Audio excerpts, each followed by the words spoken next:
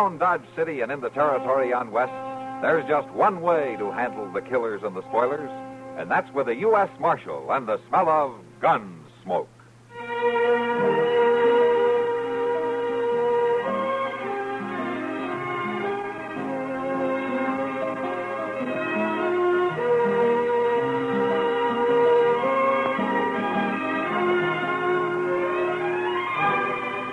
Gunsmoke, starring William Conrad.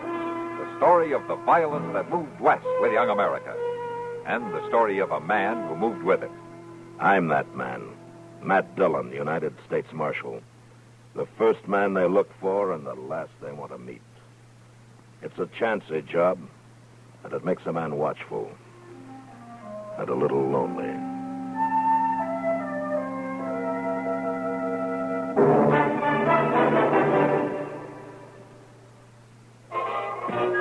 Today think young, make more time for fun at home, family style.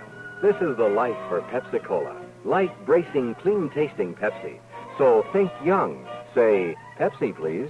So go ahead and fix a drink that lets you drink young as you think.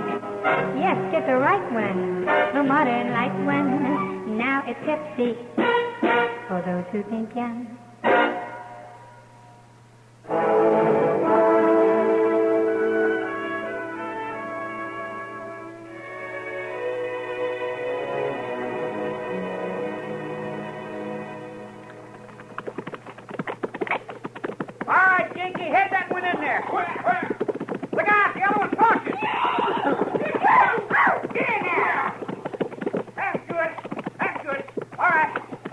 Get out of there, Jakey. I'll get the gate.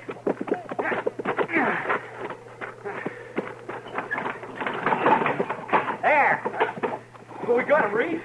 We got him. Right from one of them Sloat noses. Leave your horse here, Jakey. We'll tell them off. We just rode them wild horses right away from them. Didn't we, Reed? They're probably still looking for them. Well, we got two, Ma.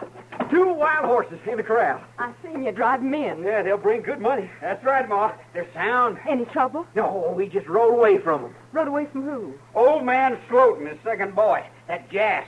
You, you take him away from the Sloat? No, we just outrode him. Now, Reed, you tell me straight. That's right, Ma.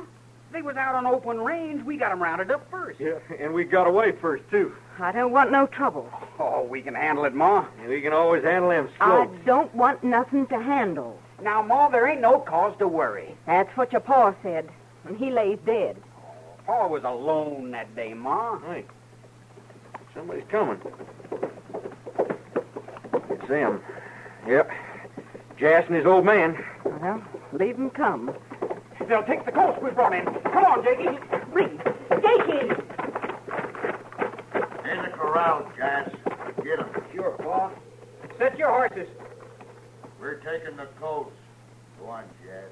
You better hold on. We roped them. They're our coats. Ain't they, Reed? They're ours right enough. There ain't never no call for you sloats riding onto our place.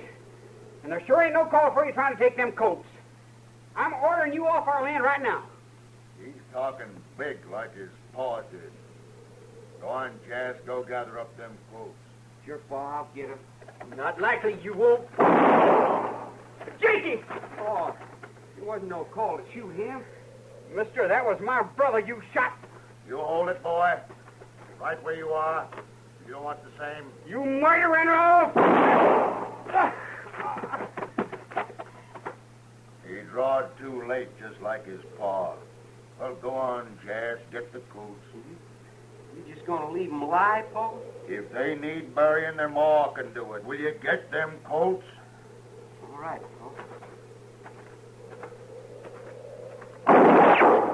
Get off my land. Pa, she's got a gun. Never mind her. Just go on.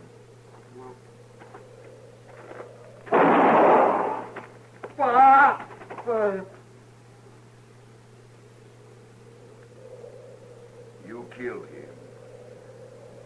You killed my boy. You get off this land before I kill you, too. Now get!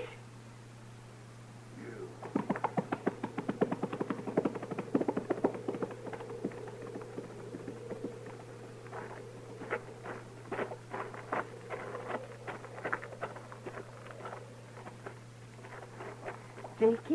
Ma. You sure drove him off, Ma. Oh, no credit to that. You're right, Jakey. Can you stand? Sure so, Ma. Yeah. Just got my head creased, I guess. Well, let's, let's look to your brother.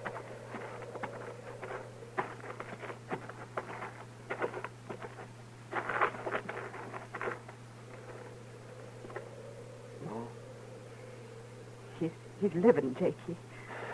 But he's bad hurt. We gotta get him in. You fit to carry? Uh, sure, Mom. I'll take his head. No, I I can lift him. I'll take his head. All right.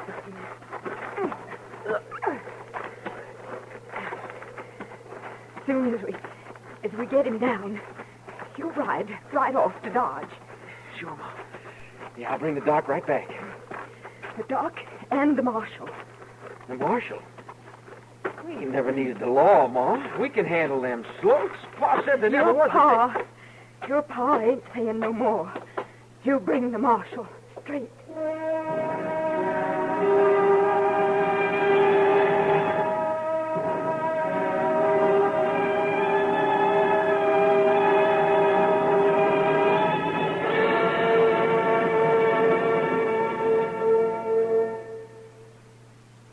As some of you know, is Monday. And Monday, as all too many of you know, can mean the beginning of another dreary workaday week. It can mean that, but it doesn't have to. Not if you're tuned to your favorite CBS radio network station to hear the great morning lineup of entertainment. This is what you'll hear. Arthur Godfrey time, presided over by the irrepressible redhead, with big name guest stars like Arlene Francis and Kaye Ballard, and musical treats from singers Kong Ling and Richard Hayes, the jazz harmonica player Jean Thielman, and Dick Hyman's orchestra. The Garry Moore Radio Show, starring one Garrison Morfit and his sidekick Durward Kirby in lots of lively talk. Art Linkletter's house party with fun for all the guests, including you, and highlighting Art's inimitable children's interviews. And finally, the Bing Crosby Rosemary Clooney Show, presenting two great singers bringing song and friendly banter. All here, all available, Monday through Friday, at this dial address.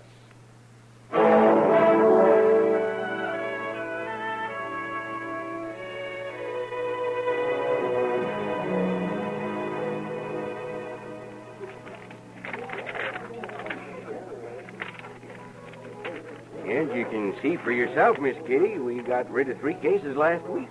Well, all right, Sam. I'll order it the next time the drummer comes through. Oh, oh. sorry, ma'am. I'm sure sorry, ma'am. I I didn't mean to run in. It wouldn't hurt you to look. Oh, never mind. It's all right. Well, I, I didn't see you, ma'am. Well, I hope you didn't. I'd hate to think you nearly knocked me down on purpose. Oh, no. No, ma'am. It's just that I was looking for somebody. Who are you looking for? Well, the lady that runs this place, ma'am. You found her. What? You mean it's you? Something the matter with that? Well, no. No, ma'am. I just figured she'd be bigger and older, like. like anybody that. That runs a saloon. Well, yes, ma'am. I'll take that as a compliment. What can I do for you? They told me up the street you always know where the marshal is. I'll take that as a compliment, too. Uh, you're looking his office? Yes, ma'am. Yes, he ain't there. You know where I can find him or the doctor? You sound like you're in real trouble. My brother's shot bad. Ma said to come to Dodge and fetch him, but I ain't found neither one of them. Well, sometimes they come in here about this time, and sometimes they don't. Well, you're halfway in luck anyway. Matt? Matt? The marshal just walked in. That big fella? Yeah, that big fella. Uh, hello, Kitty. Something up? Uh, this boy, what's your name? Jakey Sale. He's in trouble, Matt. Oh? This is Marshal Dillon, Jakey. How do, you, Marshal? Oh, it's trouble, Jakey. My brother Reed. He's been shot. Ma said to get you. And the doc. I couldn't find him. Oh, where is your brother? Out to the home place? That's west of town, isn't it? Yes, sir. Out past Turkey Creek. Uh huh. You know who shot him? Yeah. The old man Sloat. He done it. Why? Well, they come after our horses, and we tried to stop them. They shot your brother. Did they get the horses? No, no, sir. No, after Ma shot Jas, old man Sloat, he rode right off. Your mother shot Jas Sloat? Yeah, Marshal, she did. Never seen her use a rifle before, neither. All right, I'll get right out there. Well, the Sloats won't let her go at that, will they, Matt? No, Kitty, they won't. Do what you can to help the boy find Doc, will you? Yeah, sure. Chester and I will start on out. The boy can show Doc the way. Never called in the law before. Yeah, sounds like it. So long, Kitty. I'll see you later.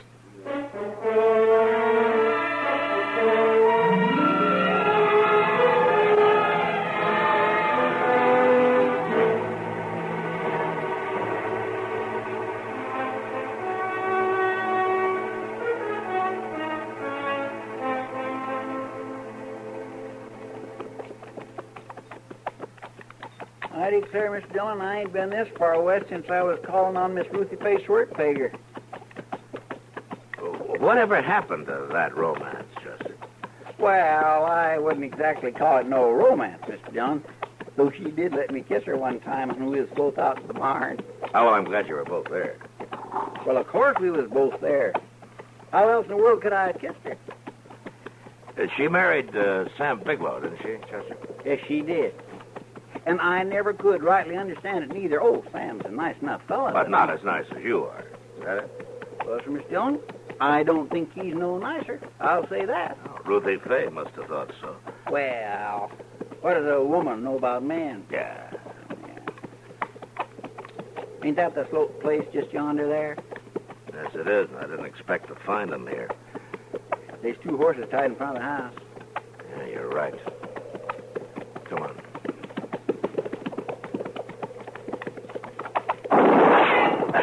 Get over behind those trees.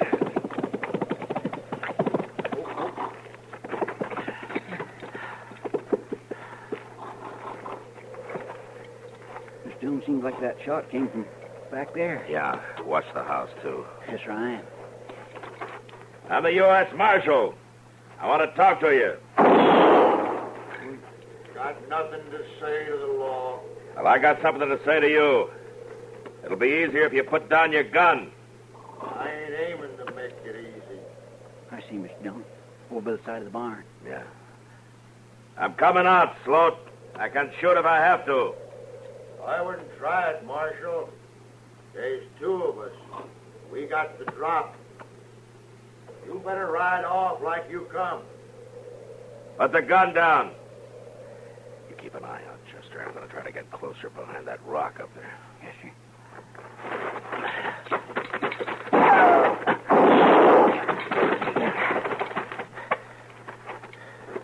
You get him, Milt. You got a good shot from up there. Up there, the barn roof, Mr. Dillon.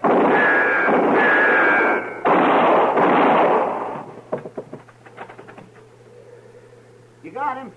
He fell clean off. All right, Sloat. You lost your rod. You better come out. I ain't coming out. Okay. Chester, work around to the other side, and then you'll have a clean shot at him. All right, sir. No, no, wait. Wait, I give up. Don't kill me. And throw your gun down. Yeah. You all right? Come on, Chester.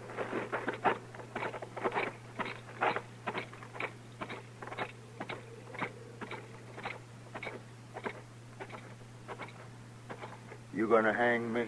We'll let the judge figure that. I got his gun, Mr. Dillon. All right, Chester, tie him up and watch him. I'm going to go to sales. I'd had them colts and been gone if Milt didn't come late. He should have been a little later. Watch him good, Chester. I'll pick you up on the way back.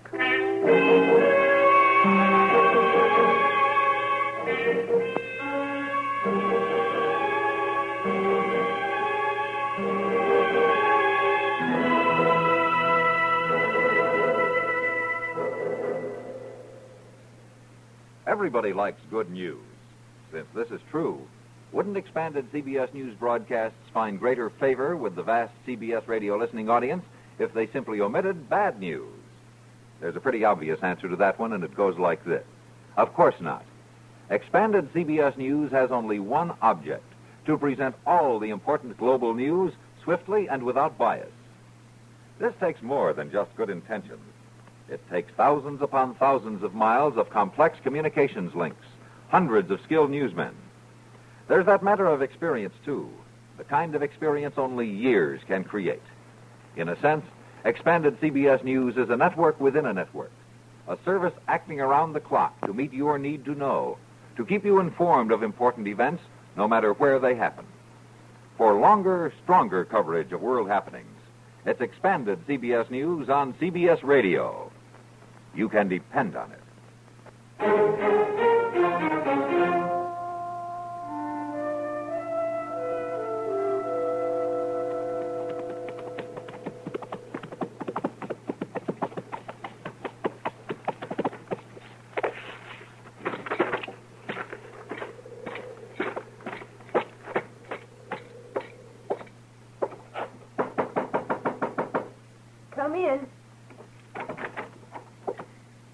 Marshal? Yes, ma'am. Matt Dillon. Wh- where's Jakey? Well, he's waiting to bring the doctor out. They should be here before long. I, I need more firewood. Round the side there. My boy Reed's shivering cold. Uh, sure, ma'am. I get it for you.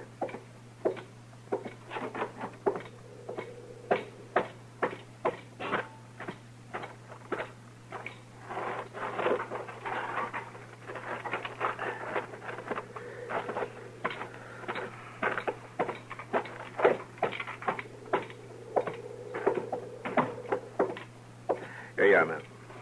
Thanks. Uh, the stove could use a stick or two. Yes, ma'am.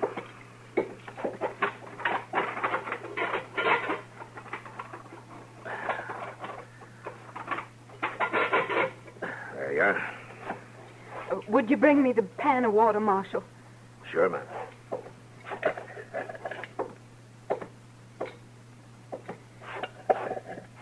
His bad took, Marshal. Yeah, I see he is. I, don't know what to do but keep him warm and keep his head cool. I've been at it all day. Well, Doc Adams will fix him up. We got to keep him going till he gets here. We'll sure try, ma'am. We'll sure try.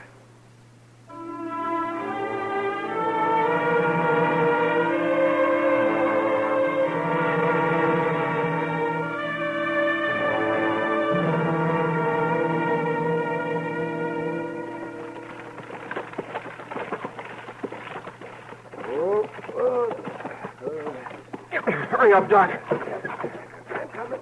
I'm coming.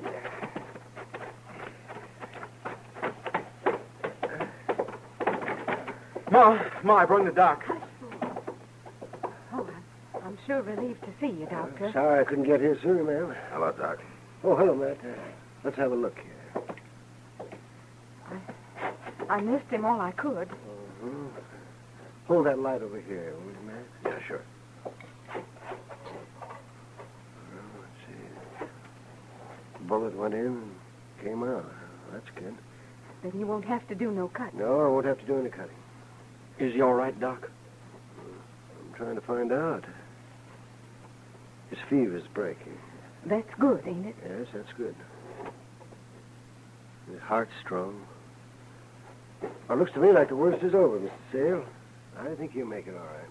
Oh, thank the Lord. I'll stay around and watch him for the next few hours, just to be sure. Well, I, I'd be beholden, Doctor. Can the boy put my horse up? Jakey. Right off, Ma. I'll do it right off. And rub it down good, too. I, uh. I'm glad for the good news, Miss Sale. Guess I can be getting on back now. I called you here because of the shooting, Marshal. Oh, yeah, but that's all over, Miss Sale. I told you the Sloats won't be bothering you anymore. Milton and Jas are dead, and I'm picking up old man Sloat on the way back to Dodge. I didn't call you here because of the slope. No? Well, uh. Why did you? Because of me. Because of you? I want you to arrest me for the killing I did. Uh, Miss Sale, I, I was just a shooting. Your two boys have been gunned down. I, I, I'm not going to hold you for that. I want the judge to say that. Well, that. there's no need for the judge. There is for me, Marshal.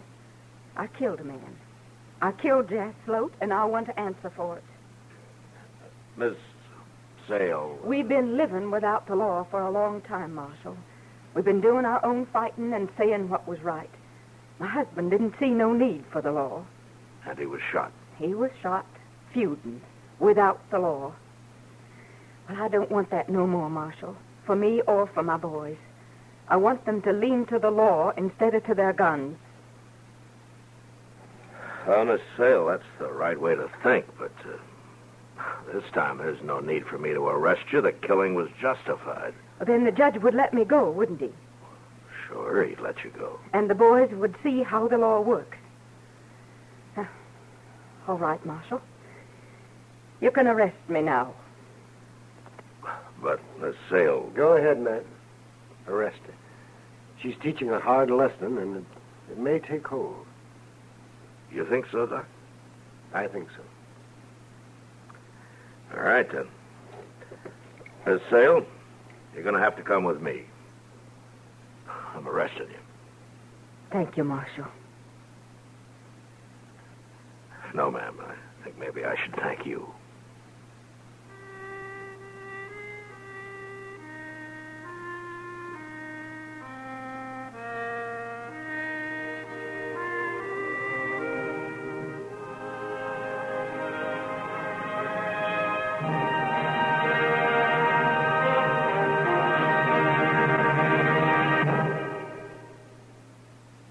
When you need someone to do a specific type of job, you hire someone specially trained to do that job.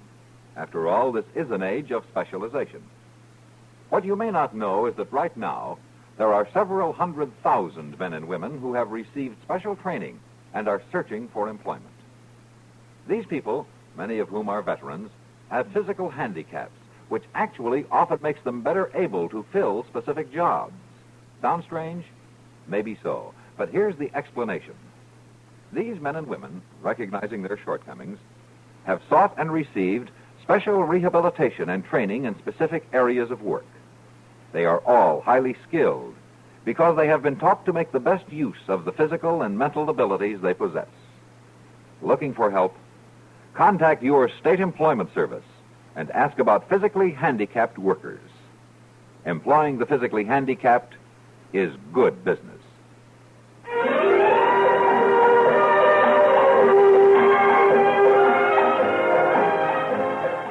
Gunsmoke. Produced and directed in Hollywood by Norman MacDonnell, stars William Conrad as Matt Dillon, U.S. Marshal. The story was specially written for Gunsmoke by Marian Clark, with editorial supervision by John Meston. Featured in the cast were Virginia Christine, Richard Crenna, John Dehner, Sam Edwards, and Vic Perrin. Parley Baer is Chester, Howard McNear is Doc, and Georgia Ellis is Kitty. This is George Walsh inviting you to join us again next week when CBS Radio presents another story on Gunsmoke.